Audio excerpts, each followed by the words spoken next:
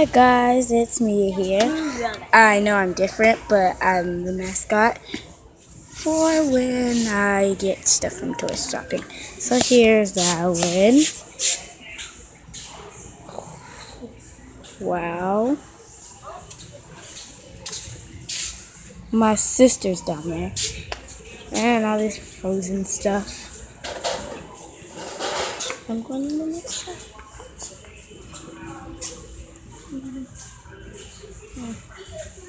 Barbie stuff. You come over here. That was my sister. Wow. Let's see if they have any of those pet shop stuff. My sister would like this aisle. Kaya found something you might like.